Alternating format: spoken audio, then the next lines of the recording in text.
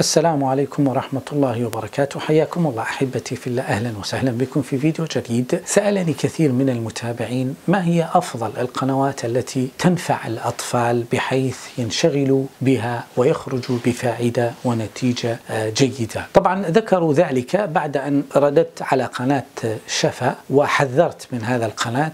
فإنها مفسدة للعقول وللأطفال. أصعب ما يعانيه الأب والأم هو تربية وتنشئة الطفل من ناحية الدين من ناحية السلوك من ناحية التصرفات من ناحية التعامل ردود الأفعال. وعليه يجب أن يكون الأب أو الأم حريص جدا على هذا الطفل. يتابعه ويلازمه.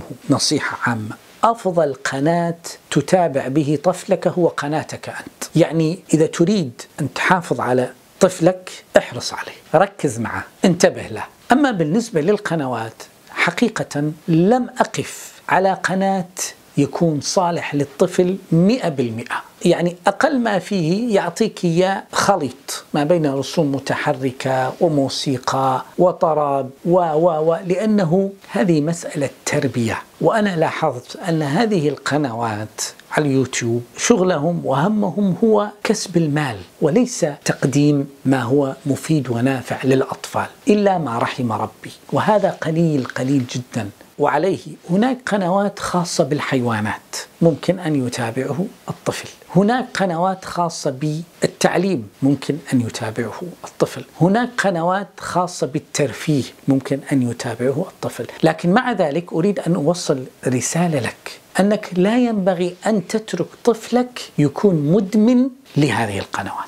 يعني هذه القنوات حتى القنوات النافعة لا ينبغي أن يمكث الطفل ساعات طوال أمامه ويتابعه. حتى لو كان نافع ذبذبات اللي يخرج من النت ضرر لذهنه ويحصر تفكيره وعقله في جانب معين. وعليه انت اعمل مكتبة. حتى لو اضطريت أن تعمل مكتبة في الجوال أو في الآيباد. تختار له أنت وتنوع له وتتابعه. أهم شيء هو المتابعة. أهم شيء هي المتابعة. المتابعة هو سر بعد الطفل عن الأمور السيئة والأمور التي تضر عقله وصحته.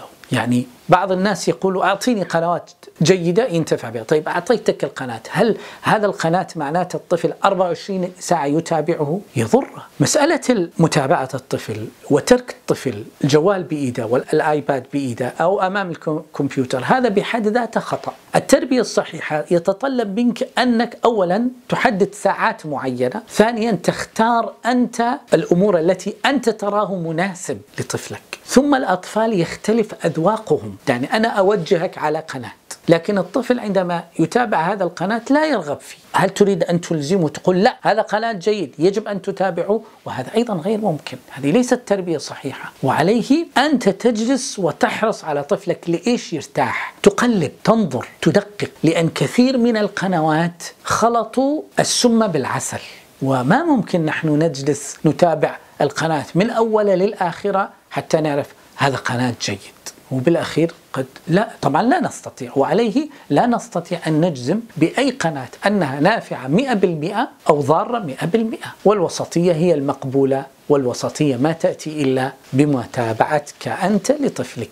هذه هي الرسالة أريد أن أوصلها للآباء والأمهات. وفقنا الله وإياكم لتربية أبنائنا تربية صحيحة سليمة نافعة. والسلام عليكم ورحمة الله وبركاته.